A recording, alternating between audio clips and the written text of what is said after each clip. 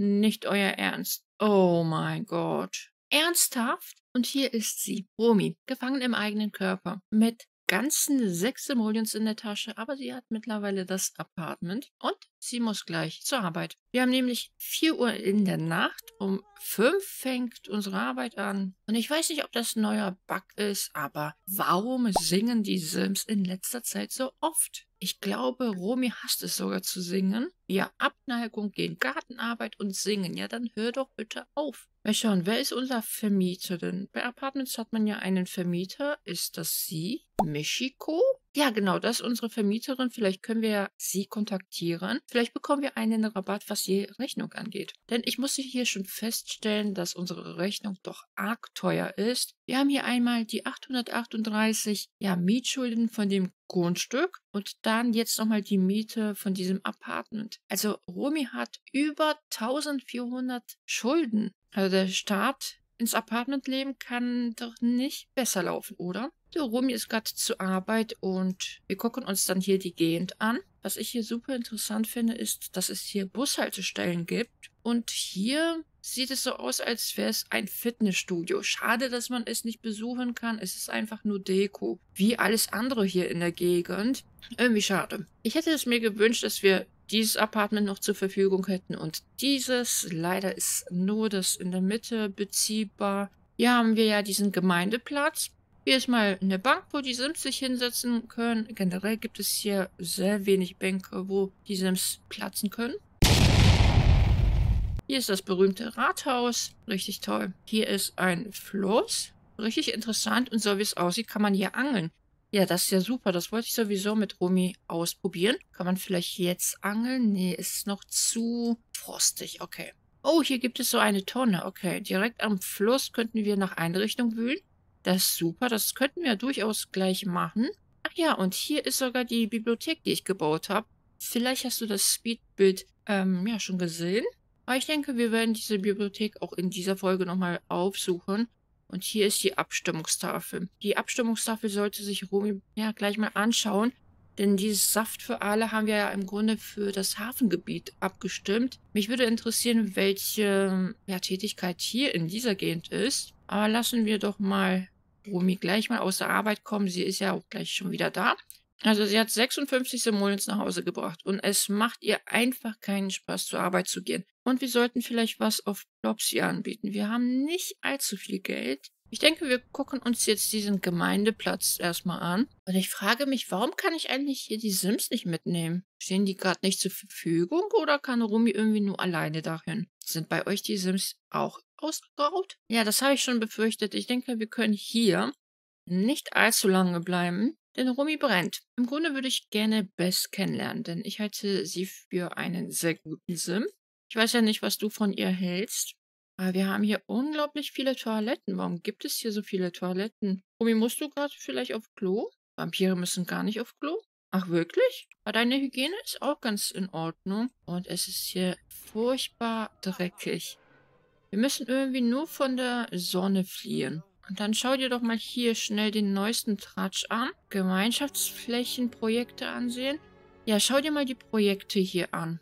Ach, okay, hier kann man wohl auch abstimmen. Von Freitag bis Montag ist die Abstimmung. Okay, das werden wir auf jeden Fall machen. Ja, hier in der Gegend ist nicht viel los. Dann würde ich sagen, dass wir in die Bibliothek fahren. Und jetzt trinkt Romy ihren letzten Plasmabeutel. Ich glaube das ja nicht. So, mal schauen. Gibt es hier Vampirbücher? Öffnen. Okay, was ist das denn hier für eine Bücherei oder Bibliothek? Hier haben wir ja total wenig Auswahl. Okay, ich habe mir das irgendwie anders vorgestellt. Ich hatte ja die Hoffnung, dass Romy sich die Bücher nicht kaufen muss, sondern dass sie diese hier lesen könnte. Ja, und vielleicht hast du es schon gesehen, ich habe hier diesen Clown platziert. Denn ja, zu Hause oder im Haus, in der Wohnung hängt man sich doch selten eher so ein Bild auf. Und vielleicht möchten wir ja den tragischen Clown kennenlernen. Äh, das ist wahrscheinlich die Bibliothekarin. Ja, genau, Yomi. Okay. Lana ist auch wieder da. Sie verfolgt uns irgendwie. Finde ich super interessant. Irgendwie merkt sie immer, wo wir sind. Ach, Bess ist auch hier. Ja, wenn sie jetzt nach unten kommt, können wir sie durchaus kennenlernen. Mal schauen, welche Nachbarn wir so haben. Vielleicht können wir nachher noch einen Verkauf starten. Und ich glaube, wir haben heute Winterfest, oder? Oh, Bess. Ich dachte, du bist ein guter Sim. Was machst du denn da jetzt? Ja, warum nicht? Wir könnten in einen legalen Plan zur Geldvermehrung investieren. Mach das mal. Wir kennen zwar Bess noch nicht, aber wenn der doch legal ist, dann machen wir das doch, oder? Bess, fühlst du dich jetzt besser? Du hast das Puppenhaus zerstört. Und Rumi, beeil dich, du brennst. Vielen Dank für deine Unterstützung. Wie viel möchtest du investieren? Ich verspreche, du wirst es nicht bereuen. Ja, da Romy 47 Simoleons hat, fangen wir klein an. Wir investieren 10 Simoleons. Romy, sei doch so nett und repariere das Puppenhaus, denn du hast ja auch diesen Wunsch oder halt die Denkblase. Das machst du wirklich toll. Wie ist denn überhaupt deine Geschicklichkeit? Ja, die ist doch schon ziemlich gut, finde ich. Lana scheint mit einer verbackten Hand hier rumzulaufen. Okay, wahrscheinlich hat sie zu lange gelesen. Ja, Romy, das hast du doch super hinbekommen. Wir können uns ja jetzt noch nicht mal ein Plasmabeutel leisten. Du musst einen Gelegenheitsjob annehmen. Ich finde es richtig toll, dass Romy hier schon drei Sterne hat. Ich weiß jetzt nicht, wie ihre Schelmfähigkeit ist, aber ich denke, ich probiere das mit ihr. Aber will Romy wirklich zum Dieb werden? Ich weiß nicht, aber wir machen einfach diesen Job für Marie. Ja, genau. Morgen ist Winterfest. Mal schauen, ob uns Vetterchen Frost besucht und vielleicht bekommen wir ein tolles Geschenk. Oh nein, unsere Vermieterin hat uns kontaktiert. Wir haben 24 Stunden Zeit, die Rechnung zu bezahlen oder der Strom wird abgestellt. Ja, super. Das fängt doch super an. Wie ist unsere Schelmfähigkeit? Haben wir überhaupt Schelmfähigkeit schon hier? Sieht nicht so aus. Okay, Romy, das wird dann der reinste Reinfall. Und so wie es aussieht, haben wir was verkauft, oder? Ja, das sieht gut aus. Wie viel haben wir? 898? Ernsthaft? Das müssen wir gleich versenden. Dann können wir direkt ein paar weitere Sachen anbieten, denn Romy wird ja jetzt reich. Qualität legendär, das ist ja richtig toll. Unternehmerfähigkeit Level 2 erreicht. Das ist super. Oh mein Gott. Wir haben 0 Simoleons ähm, ja, verdient und eine schlechte Bewertung. Ernsthaft? Wir hatten drei Sterne. Wie viele Sterne hast du jetzt? Oh, Herr Knox? Na, wir haben immer noch drei Sterne. Okay. Wo möchte Herr Knox hin? Ist Herr Knox unser Nachbar? Herr Knox möchte uns besuchen? Aber wir können irgendwelche Aktionspläne erhalten. Ja, die Abstimmungstafel können wir uns auf jeden Fall mal anschauen. Okay, die ist hier. Die haben wir ja schon gefunden. Da gehen wir später hin, wenn es dunkler ist. So, Rumi, vielleicht kannst du die Sachen für Plopsy schon versenden. Wir können sogar die Rechnung ignorieren. Okay. So, mal schauen, was haben wir alles verkauft? Den Pullover haben wir auch verkauft. Okay. Dann versenden wir diesen. Warum geht das denn schon wieder nicht? Hm, vielleicht muss ich das Grundstück nochmal reinladen. Denn diesen Briefkasten kann ich ja nicht ersetzen. So, mal schauen. Kannst du jetzt die Sachen versenden? Ja, das sieht gut aus. Ich musste wirklich das Grundstück nochmal reinladen. Ich hätte mich wirklich geärgert, wenn die Briefkästen auch sehr verbuggt wären, wie auf diesem anderen Grundstück. Das werden wir auch verschicken. 898, ich glaube es nicht. Haben wir noch was verkauft? Nee, leider nicht. Schade, schade. Hallo, Romy. Verschick das bitte. Warum geht das denn jetzt nicht? Ja, jetzt, okay. 1123, okay. Ich werde mit Romy nochmal hier zur Bibliothek fahren, um einfach, ja, nicht zu verbrennen. Romy, du wurzelst wieder. Ah, das ist so schwierig mit einem Vampir. Wir besorgen uns ein paar Plasmabeutel. Ach, die Rechnung von 838 kann ich jetzt schon bezahlen. Ja, wir bezahlen die. Auch wenn das von diesem Grundstück ist, wo Romy im Grunde untergekommen ist. Aber ich möchte nicht cheaten. Ich habe das Grundstück zwar so gesehen, als, ja, müsste man keine Miete bezahlen, als wäre das praktisch ein Leben auf der Straße. 285 haben wir, okay. Wir kaufen diesmal vier. Ja, jetzt bist du fast wieder pleite. Ich weiß nicht, sollen wir noch mal einen Gelegenheitsjob probieren? Denn 85 Simoleons ist ja nicht gerade viel. Rumi ist jetzt inspiriert, sie ist gut gelaunt, also dürften wir doch Glück haben. Also das mit dem Verbrecher war ja der reinste Reinfall. Kisten packen ist für dich angesagt. Ja, Rumi, dann gehst du mal wieder Kisten packen. Um 18 Uhr? Ja, ist doch in Ordnung. Und Rumi hatte wirklich Erfolg. Das ist super. 84 Simoleons haben wir verdient. Ich hatte euch ja gefragt, wann Romy ihre roten Haare wieder bekommen soll. Und Lilliput hatte geschrieben, in vier Wochen dürfte man ja den Ansatz sehen. Das sehe ich auch so. 1, 2, 3, 4 kurz vor dem Liebestag. Ich notiere es mir einfach als Feiertag. Ich nehme einfach hier dieses äh, Simoleonszeichen, denn irgendwie gibt es hier nichts Passendes. Rumi Haare rot. Es ist natürlich ein Arbeits- und Schultag. Mal schauen, gibt es so eine Art Wellness? Gibt leider kein Wellness, also wähle ich jetzt keine Tradition aus. Und so weiß ich, okay, hier bekommt Rumi einen roten Ansatz oder wir färben wieder komplett die Haare. Vielen Dank für deinen Kommentar. So, Romi, wir sind ja jetzt hier in einer neuen Gegend. Schau dir doch mal hier die Tafel an. Ja, schade, wir haben hier nicht Saft für alle. Upcycling-Initiative. Klingt auch interessant. Oh, ich sehe gerade, dass Romi sogar vier Tage Urlaub hat.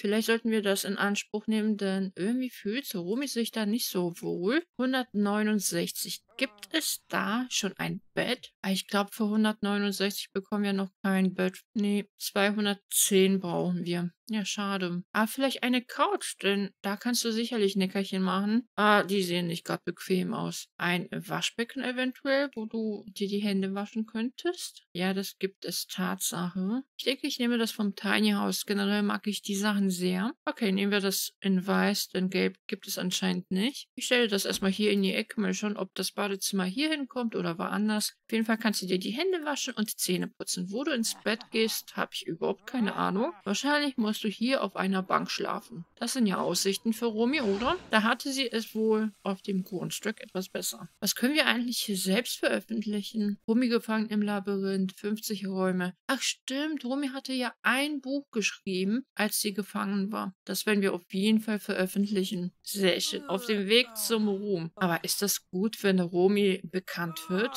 Kann man sie dann, dann nicht leichter finden? Ich weiß es nicht. So, Romy, schauen wir mal, ob der See oder der Fluss noch eingefroren ist, denn ich würde sehr gerne mit dir angeln gehen.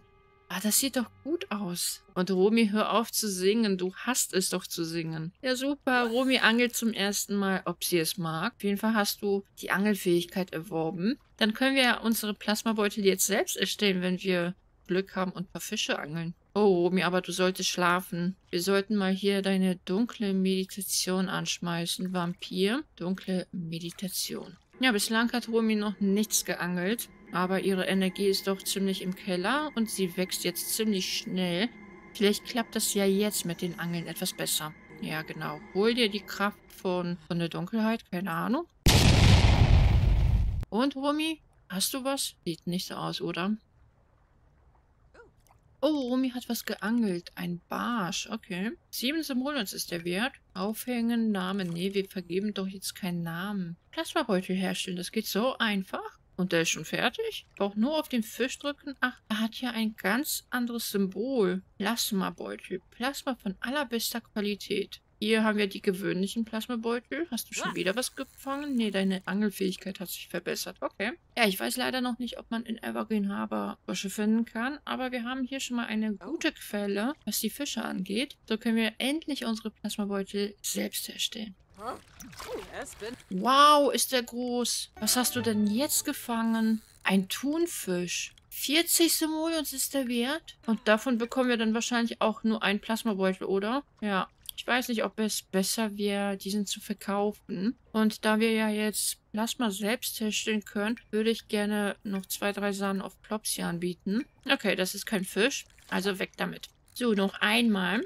Und wir haben wieder einen Fisch. Ja, super. So ein kleiner. Sechs Emolens ist der Wert. Okay. Machen wir auch direkt Plasmabeutel. Ja, Romy, das reicht dann. Mal schauen. Liebst du jetzt Angeln? Bislang haben wir nichts davon mitbekommen. Wahrscheinlich siehst du das eher neutral. Und mich würde es interessieren, wenn du diesen trinkst. Wie schnell steigt dann hier dein Durst? Wir sind jetzt hier. Das ist ja ziemlich wenig. Und wir sollten langsam nach Hause, oder? Denn die Sonne kommt langsam wieder. Aber hier gab es doch auch eine Mülltonne. Vielleicht kannst du hier nach einer Richtung wühlen. Nein, jetzt ist der Container leer. Ich glaube, da wo die Bibliothek ist, habe ich auch eins oder drei platziert. Also werde ich hier nochmal zur Bibliothek oder Bücherei. Denn ja, Romy bräuchte im Grunde ein Bett. Und die sind alle leer. Nicht euer Ernst. Ist der vielleicht jetzt voll? Nee. Aber wir könnten ja hier einen Saft herstellen. Zutaten hinzufügen. Was schmeißen wir da rein? Zauberhafter Pilz. Möchten wir so ein Sprudelgetränk machen?